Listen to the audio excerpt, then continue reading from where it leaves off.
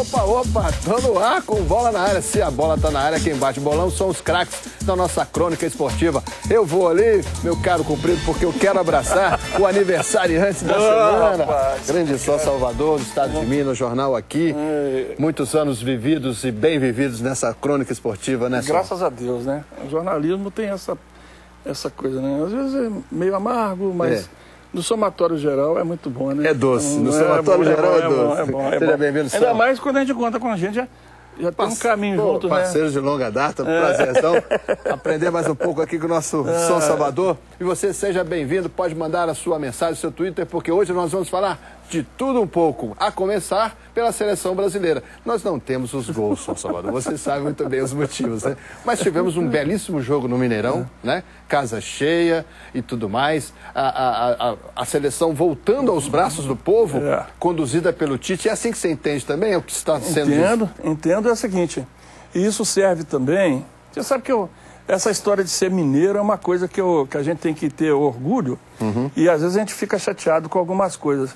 O Mineirão deixou de chamar Mineirão ou Estádio Magalhães Pinto para ser Estádio 7 a 1 Há muito tempo que, isso já estava passando do limite.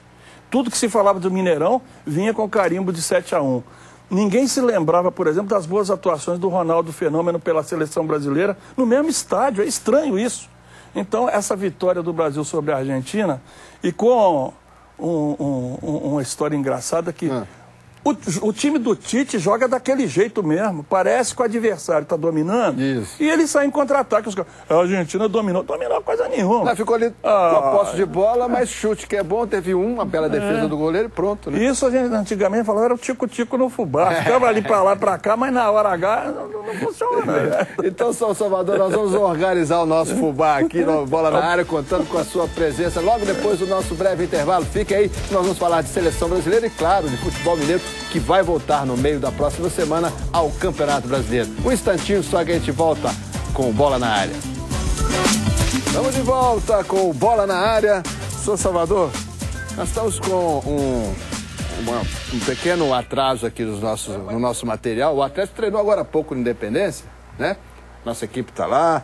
Tem também é, é, é, situação do Cruzeiro com relação à, à volta do Campeonato Brasileiro, Mano Menezes. Tudo isso a gente está preparando para ainda hoje mostrar para você. Isso, Tá certo? isso, isso. Então tá. Aí enquanto isso está aqui me ligando o pessoal, eu preciso ver aqui as mensagens né, dos nossos queridos telespectadores que já começam já a participar do nosso Bola na Área. O a gente estava falando de seleção brasileira, né? O Mineirão e tudo mais. Houve um recorde de renda, né, só? Maravilhoso, né? É. Também, né? O ingresso mais barato era quanto? Era duzentinho, né? Mais ou menos. Aí tá aqui o Periquito de Ponte Nova. Ei, Periquito. Perguntando se da renda de quase 13 milhões a Argentina vai levar uma parte. A Argentina já levou três, né? Na sacola. E bem levados, né? A? Argentina é o seguinte, olha, é, é- é impressionante é, como, às vezes, o treinador de futebol é, é, é, se faz. É, é difícil da gente entender, né? O camarada monta um time como o da Argentina, com bons jogadores de toque de bola, mas esquece que precisa ter um centroavante. E aí deixam o Lucas Prato os 90 minutos no banco É. e tomando de 3 a 0. Quer dizer, eu fico pensando que é Paton ou Burron? Burron. Peraí. Qual é o apelido do Negócio Paulo? esquisito. Peraí. Tom Burrão. Ah, bom. peraí, não. é, Porque é o seguinte, tu- tudo que a gente viu naquele jogo foi que a Argentina tem bons jogadores, toques bola. Agora, o Brasil teve finalizadores, né? Que partiu em contra-ataque e resolvia. E podia ter sido demais, né? A sacola cabia mais. É verdade. Então, vamos ver o que, que acontece. Agora, entender treinador de futebol tem hora que é muito difícil. É muito difícil. E por falar em treinador, daqui a pouquinho tem o Marcelo Oliveira sendo auxiliado por um jogador. Essa imagem sensacional do Gerson, nosso cinegrafista. E também o Mano Menezes falando sobre alguns assuntos, entre eles esse aqui que o Lucas Xandão está no arroba Leopoldo E perguntando. O Ábila está indo, ou afirmando, hein, Xandão? Ábila está indo embora para jogar com Tebes, Carlito Tebes. Mano Menezes vai falar disso e outros assuntos daqui a pouquinho. A gente volta já já com bola na área. Fica aí.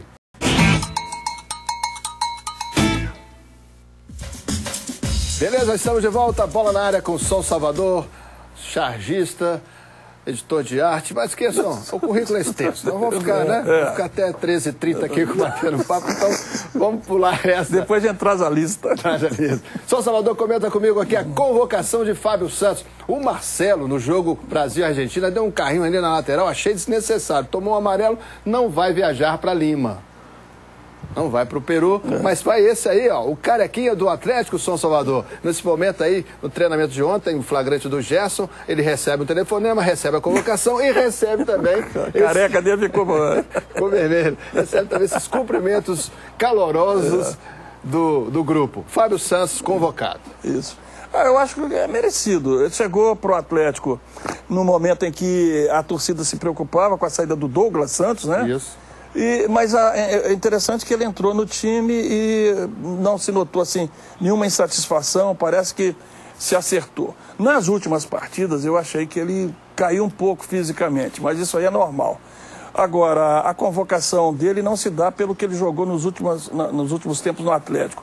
Se dá, isso sim, pelo que o Tite conhece do futebol dele. Foi jogador do Tite no Corinthians e o Tite é muito disso. E vou dizer uma coisa aqui, vou antecipar. Hum. Tem mais lateral aí no Atlético que se não estivesse contundido poderia estar na seleção e se voltar terá oportunidade, viu?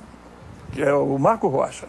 Agora, a convocação do, do, do, do Fábio Santos foi, foi mais uma daquelas assim.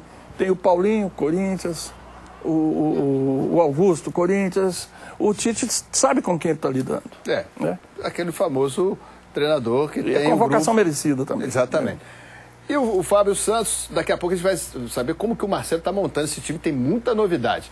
O Fábio Santos está feliz e está comentando aqui no Bola na Área a convocação para enfrentar, ou pelo menos para integrar o grupo que vai enfrentar o Peru na próxima terça-feira.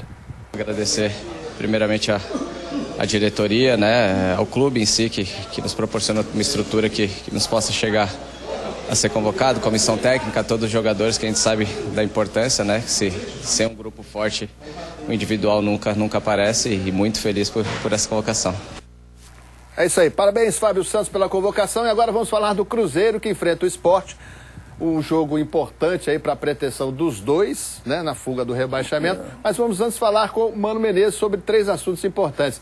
Já pensando em 2017, jogadores que vão ficar, jogadores que devem sair e também um papo sobre seleção brasileira. Fala, mano. O Cruzeiro não tratou sobre esse assunto objetivamente. Então, se não tratou, não falaremos sobre isso ainda. Podemos falar futuramente sobre qualquer coisa, quando for a hora.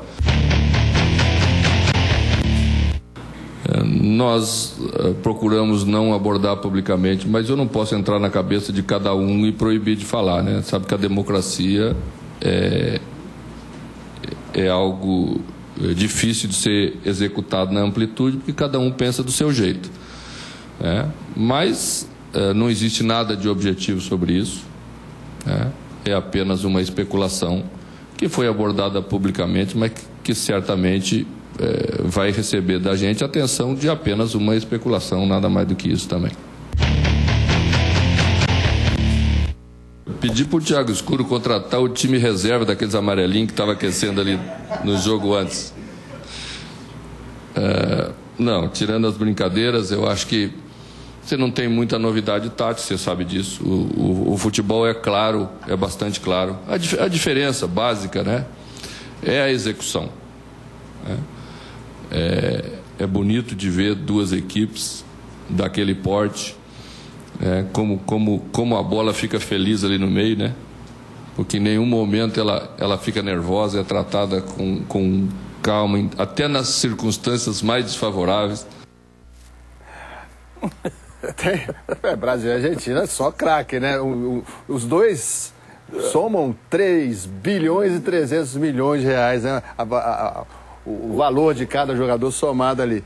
Agora, tem no futebol brasileiro quem está maltratando a dor na bola, não tem isso? Nossa senhora, tem gente que a, a bola tenta fugir não consegue, coitadinha. A bola e o gramado também, né? Tem é. cara que dá um chute e arranca um, um metro de grama. Então, mas é assim, eu acho que também, por outro lado, nós temos também bons jogadores e que a gente precisa valorizar. Então, o, futebol brasileiro vive um momento em que está mostrando que não existe aquela história de entre safra. Né? O que existe, às vezes, é um trabalho que não funciona, como era o trabalho do Dunga. O, Brasil está mostrando que tem jogadores e que pode montar uma boa seleção. É verdade. E sobre o que o Mano Menezes falou, então, o William é um jogador que ele deseja que seja mantido pelo Cruzeiro em 2017 e o Ábila, essas especulações, que como ele tratou, né? Mas é um jogador que tem mercado, né? Será que. Ah, e o mercado, assim, a, a, conversa é que ele iria para a China para jogar junto com o Tevez. É. Agora, o mercado da China é aquele mercado que chega você acha que está dando um preço alto, e ele fala, não, eu pago o dobro. E aí leva o camarada. Então, e outra coisa, o Ábila teve um bom começo e depois começou a perder um pouco a confiança do torcedor. Né? Uhum. Não sei se porque não se encaixou bem no time, não sei se é porque a bola não está chegando para ele quando chegava no começo, mas essa é a verdade. Então fica essa dúvida. De todo jeito, é um momento muito chato para se falar, tanto em contratações como em saída de jogadores, porque o campeonato continua. Né? É. Tem pontos importantes é, a serem é, disputados aí, né? É. Bem, a gente vai voltar a falar do Campeonato Brasileiro para os mineiros daqui a pouquinho. A gente está falando de maltratos à bola e maltratos aos jogadores, ainda mais jogadores novos, hein? Recebi aqui pelo WhatsApp imagens de um jogo que está terminando agora lá no campo em Santa Luzia, no campo no CT do América em Santa Luzia. Começou meio-dia esse jogo do, da Copa IMEF São Salvador, América e Futebol sub-11, sub jogado agora. E a gente vê na extensão de todas essas imagens aí que não havia ambulância. Não pode. Não pode, não pode. Não pode. Tem que ter todo o aparato tal, né? O risco é muito grande. E hoje o, a prática esportiva atingiu um nível de condição física e de formação de atleta que exige mesmo a, a, essa prevenção. Afinal de contas, é, você está lidando ali com o ser humano. E uma contusão num lugar desse aí, num CT, lá no, até com uma certa distância de qualquer hospital, é uma é. situação perigosíssima. É verdade. Então está feito aí o registro. O pessoal que se preocupa né, com os filhos, a Copa Sub-11 e o IMEF, não pode jogar sem ambulância. A gente está fazendo alguns contatos aqui para saber se é. tem alguma explicação essa situação toda. E amanhã tem a decisão do Campeonato Estadual Feminino entre América e Ipatinga. O América venceu o primeiro jogo, muita bagunça lá no Ipatingão. A coisa ferveu, né? Teve agressão e tudo mais. E para amanhã, o Ipatinga já disse: vem disputar esse jogo no Baleião às 16 horas com o América. O América já pediu à federação e à polícia toda a garantia e eu recebi a garantia do comandante do Batalhão de Choque da Polícia Militar de Minas Gerais, o Tenente Coronel Gianfranco Caiafa, de que o, vai, vai ter segurança vai ter lá o batalhão de choque para garantir tudo. Então tá você convidado para assistir aí amanhã a decisão do Campeonato Estadual Feminino de Futebol de, é, no Baleião às 16 horas. Perdoem a minha voz. E agora a gente vai falar do Atlético treinando no Independência, o palco do próximo jogo. Aí, ó. O General cruzando e o Independência servindo para esse treinamento. É bom treinar no campo de jogo, São Salvador, não ficar treinando só em CT? É bom porque existe uma, uma, uma espécie de referência, né?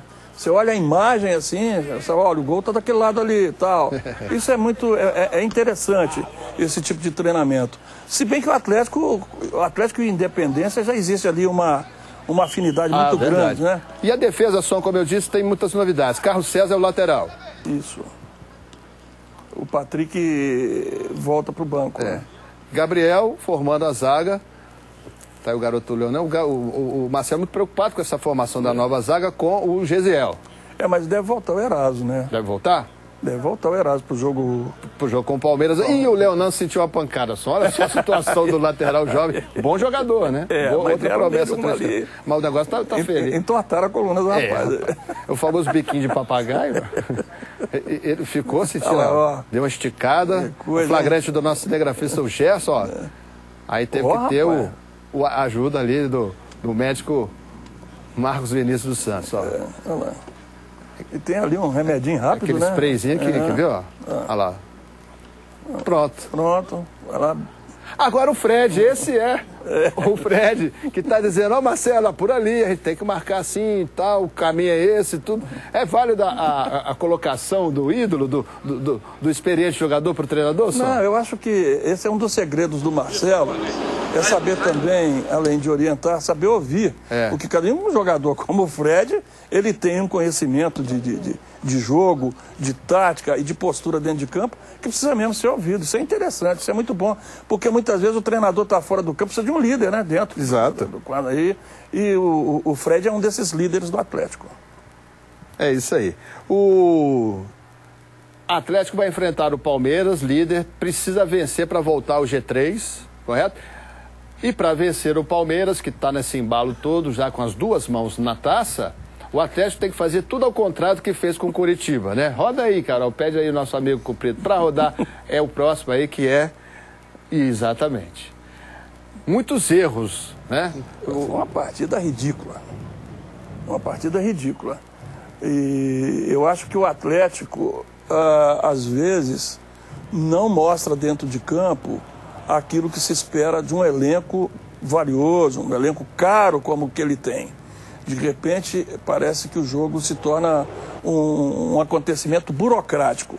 A turma entra em campo, ah, cumprimenta o adversário, mas jogar bola mesmo, nada. E alguns jogadores precisam mostrar mais. Por exemplo, o Casares, que faz dois passes e vira Deus do Atlético, quando ele entra como titular, não joga nada.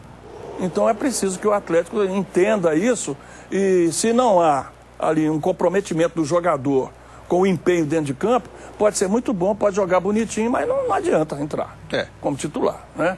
Agora entra como reserva, faz uma fumaça tremenda. Impressionante, né? Tem jogador que nasceu para ser reserva. É incrível. Fica ali no banco, bate papo e tal, toma um refrigerante. Aí Não, entra louco, Ah, né? entra, aí faz. Depois fala, olha, você hoje é titular. E fala, ah, mas aí não tem graça. E o Atlético, então, teve essa derrota para o Curitiba, com muitas falhas, que certamente o técnico Marcelo Oliveira está procurando corrigir nesses treinamentos aí que antecedem a partida difícil, importante com o Palmeiras.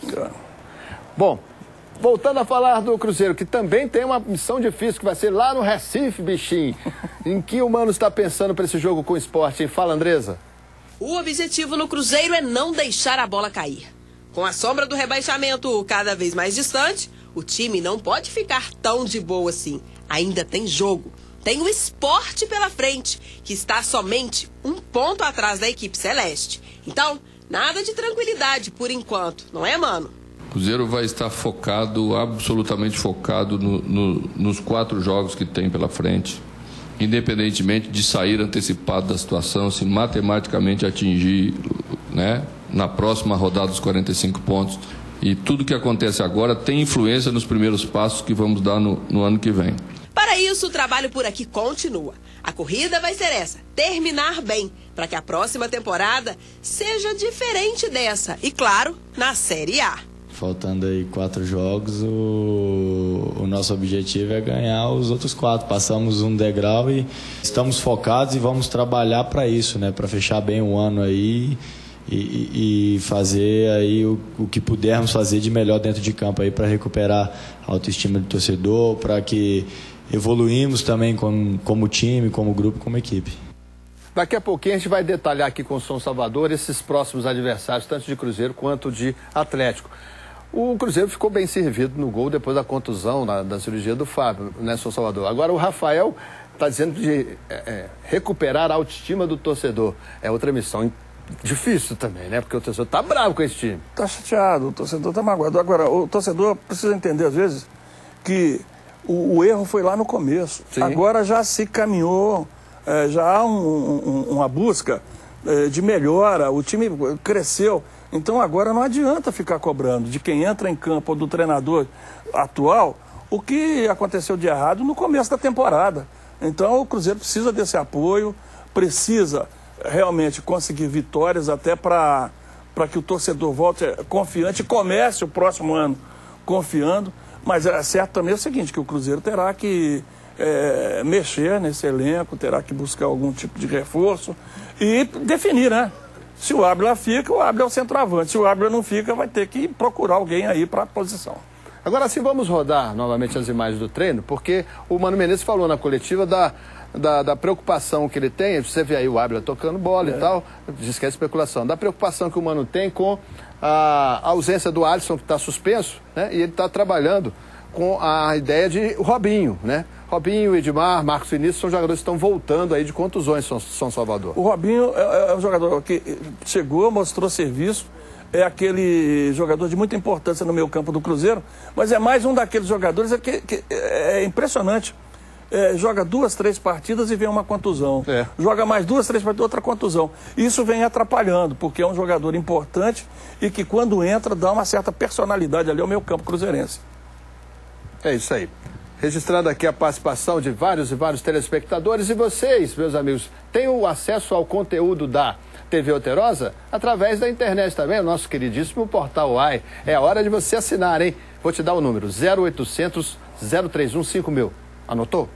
0800 031 5000. Você assina o portal AI por a partir de apenas 99 centavos por mês. E tem um mundo de vantagens. Tem o cartão de assinantes, tem, além do conteúdo da TV Alterosa, o EM Digital, Estado de Minas, tem também suporte técnico gratuito, proteção contra vírus e spam, tudo isso e muito mais no Portal UAS, 0800 031 5000 é a hora de você assinar. Vamos falar do América que o próprio Super Esporte né, do Portal UAS estampou lá, vendeu o mano de campo para o Mineirão. Muita gente não entendeu, né? Como é que vende o mano de campo do Independência para o Mineirão? A primeira partida do América com o Flamengo foi lá em Cariacica, o Flamengo venceu. Agora o jogo de volta, que seria o Independência, vai ser no Mineirão, meu caro som. É, o América está fazendo aquela aquele final de feira, né? Tá tentando aí. É lógico, seria bom terminar eh, devolvendo a, a lanterna lá para o Santa Cruz, mas a verdade é que o América hoje pensa mais uh, na renda que pode conseguir no Mineirão do que eh, numa vitória, numa, na possibilidade de conseguir alguma coisa na Série A. O, o, o arraso já está pronto, os erros não, não dá mais para corrigir. O problema do América agora é terminar com um pouco mais de dignidade essa campanha. Jogar no Mineirão, acho até que pode ser uma atração, né? além do, do, do Flamengo. Né? É, muita gente pode ir ao Mineirão para ver o jogo do América. Então é uma, é uma atração. Sim, né? É. Agora, a expectativa dos empresários né, que adquiriram os direitos desse jogo é de 30 mil pessoas no Mineirão na quarta-feira. Acha possível só? A última vez que o América jogou no Mineirão, nesse campeonato, foi aí, ó. É, mas aí, aí 30 mil vai depender do preço do ingresso, porque a campanha do América. 50 reais, São Salvador. E quem tem o cartão é, de sócio do América paga metade, 25 reais. 50 reais é um preço bom? Olha, Olha a cara do. Não, foi a cara do Não, é muito... do Sul, né? Eu tô achando difícil isso. 30 mil torcedores no, no, no Mineirão para ver um jogo do América. Quarta-feira. Quarta-feira. É. é. Não sei. Tô pode ser que haja aí uma. Hoje o marketing tem algumas estratégias que até nos surpreendem, né? Mas eu estou achando complicado isso aí. É verdade. Bom, então... É, sem contar com o seguinte, torcedor ah. hoje, trânsito, horário, é tudo é. complicado, né? Verdade. Agradecendo aqui a audiência, o registro do Gideon Souza, perguntando pelo Périx, ó, o Vaquinha tá passeando, é. sábado que vem tá aqui de novo no Bola na área, com certeza. Bom, vamos lá então fazer uma análise, São Salvador, agora dos adversários que os mineiros têm pela frente. O América, a gente sabe que a condição é de rebaixamento. É. Né? Vamos falar sério aqui. Tem o quê? 0,000, não, existe. Não, não existe. Né? Lá atrás teria que ganhar alguns compromissos, dependendo dos outros, agora não tem jeito. Não dá. Né? Então vamos ver o que o Atlético tem que fazer para garantir aí uma boa colocação, porque o próprio Luan falou hoje cedo lá no Independência, após o treinamento, que não está pensando mais em título, mas sim em G3. Então vamos ver o que o Atlético vai enfrentar pela frente na análise de São Salvador. Palmeiras em casa. Mas um jogo difícil. Vai depender muito da postura do Atlético. Precisa ter uma, uma postura mais de. Sempre que o Atlético chega para decidir alguma coisa, ele, ele falha nos últimos tempos. Então vamos ver se contra o Palmeiras, pelo menos, decidindo aí uma, uma posição no G3, que agora é o G3, é. tomara que funcione. Mas é um jogo muito equilibrado e que eu não vejo favoritismo nesse, nessa partida. É, lembrando que o departamento de matemática da UFMG coloca hoje o Atlético com ah, 0,68% de chance de conquistar o título. Essa é. altura, né? É, é, é não é dizer, ah, vai jogar de qualquer jeito com o Palmeiras. Não, tem compromissos aí a cumprir, tem o G3. E tem uma premiação da CBF que depende da classificação do clube. Bem lembrado. Fora de casa, depois do Palmeiras, o Atlético enfrenta o Santa Cruz, que é o outro time que vai cair. Não tem jeito pro Santa Cruz o, também. É, e o Santa Cruz está com cinco meses de salários atrasados. com os funcionários, com os tá uma bagunça. Trouxe de volta o grafite, né, que foi convocado pelo Dunga para a Copa do Mundo 2010. A melhor atuação do grafite, nós estivemos lá fazendo a cobertura para os diários associados, São Salvador, foi no dia que eles foram para o Mandela Square, que é um complexo de, de, de shoppings, é maravilhoso, lá em Johannesburgo, na África do Sul. Ele chegou e comprou um aparelho de som com quase 70 mil reais. Só foi a melhor atuação do grafite na Copa. beleza, né? Aí, perdão, aí agora está com o salário atrasado. É, contra o Santa Cruz, eu acho que o Atlético. E outra coisa, no começo da temporada, o grafite começou a fazer gol, todo mundo dizia, por que, que o grafite não está num grande clube brasileiro? Que não, É que, não é assim. Eu acho que aí o Atlético é favorito e tem que vencer o Santa Cruz. Depois o São Paulo, que está super irregular na- no Campeonato É, Brasileiro. é. De repente ganhou do Corinthians outro dia de quatro, que o Corinthians também é outro que virou uma bagunça. Mas, jogando em casa, o Atlético é favorito contra o São Paulo. E fecha tudo com a Chapecoense. A Chapecoense que está eh, sendo colocada aí como um exemplo até para o América. Eu ouço muito torcedor dizer, por que, o América não, é- não segue o exemplo da Chapecoense, que é um clube também que não é de né, primeira linha em termos de torcida, de valorização e tudo mais, mas que se mantém na Série A. Não sei se lá tem um bom exemplo para o América seguir só. É, eu acho que às vezes o importante é que você tenha não só jogadores experientes, como dirigentes experientes também no comando. Quando você, o, o dirigente às vezes também ele aprende e, e- e isso faz o clube sofrer. Isso aconteceu muito no América esse ano. Agora, o jogo contra a Chapecoense, o Atlético tem a obrigação de vencer. Com tudo que falam da Chapecoense, não dá para mensurar o que é o Atlético e o que é a Chapecoense. Mas jogando lá, a gente não sabe se o Atlético será o time que joga aqui no Independência. É, porque é um mau que mandante, apronta. é um mau visitante, né, o e-. E, e quando joga fora de casa é um, é, é- é- é um time muito frágil. Mas é um jogo que o Atlético, teoricamente, ainda mais se estiver ainda disputando o G3, tem que ganhar. É isso aí. Sai então o Galo entra Raposa, os confrontos do técnico, do time do técnico Mano Menezes para a, a final do Campeonato Brasileiro. Opa. Fora de casa, esse jogo do meio de semana com o esporte. O esporte tem 1,1% de probabilidade de queda e o Cruzeiro, com, a- com empate, já chega aos 45 de, falados aí pelos Empate matemáticos. seria ideal, né? Vamos empatar isso aí, fica todo mundo dois fica tudo bem, né? Agora, é interessante que o esporte conseguiu uma vitória contra o Grêmio e que deixou, assim, que deixou muitas dúvidas, né? Sim. Dizem que o Grêmio prejudicou o Internacional ao perder Para o esporte. pro- pro esporte. Mas é aquela história, o- se, o, se o Diego Souza estiver num dia em que ele queira jogar bola, É. tal, o esporte pode ser um adversário difícil. Mas eu acho que o Cruzeiro traz de lá ou o empate ou a vitória. Tem, tem a, a classe, os treinadores às vezes reclamam, né, com certa razão, de, de- da questão dos dirigentes e tal. Tem uns que estão tão em baixa, porque o Oswaldo de Oliveira voltou pro Corinthians, né? Tomou de quatro num clássico e tal, a galera já não queria. E o Carlinhos Bala, do esporte, falou que se o Oswaldo de Oliveira tivesse permanecido no time pernambucano, eles teriam caído. Pois é. Você tá sem moral, Oswaldo, né? Tá. Até o Carlinhos Bala tá detonando. E depois o Cruzeiro recebe o Santos, que ainda tem aí remota chance de, de ser campeão. Não, olha, 5 para 6%. Se o Atlético vence o, o- o Palmeiras e, o- e o- e o Santos vence. O Cruzeiro? Não, Não, o Santos vence- nessa rodada, Certo, o, certo. o Santos pode ficar três pontos. Aí já aumentam bem a chance. É, então é aquela história. Mas aqui é, é um jogo equilibrado, né? é um jogo mais para empate do que para vitória, porque o Santos está com um time muito bem certo. Verdade. Depois o Cruzeiro joga no Beira Rio com o Internacional, que está numa nhaca danada e precisa desesperadamente vencer. Como é que vai ser? No Internacional deve ser o seguinte: deve ser mais uma guerra lá daquelas guerras lá do Sul, né? porque pode chegar nessa partida aí precisando de uma vitória para escapar. Então, um desespero por lá. Estão culpando até o Grêmio pelo que o Internacional não fez. É. Então, é um jogo complicado. Agora, pode também chegar lá com o Internacional já ah, na segunda divisão. E aí seria uma outra situação. E o Cruzeiro encerra o campeonato jogando em casa, no Mineirão, contra o Corinthians. Aí acabou. Corinthians É. do Oswaldo. Do Oswaldo. um fim de feira tremendo, É. né?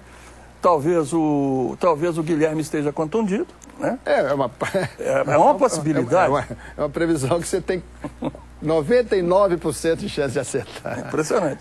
Eu acho que o Cruzeiro é muito mais time do que. Hoje o Cruzeiro é muito mais time do que o, o, o, o, Corinthians jogando aqui e tem tudo para fechar aí o, o, campeonato com uma boa vitória sobre o Corinthians. É, como foi boa a vitória sobre o Fluminense. Vamos relembrar aqui para a gente fechar essa análise então, Celeste, com relação ao que resta aí para o Campeonato Brasileiro. O Cruzeiro recebeu o Fluminense no Mineirão e jogou é, como não jogou, por exemplo, contra o Grêmio na Copa do Brasil, é. perdendo a chance de ir para a final, né, só? É.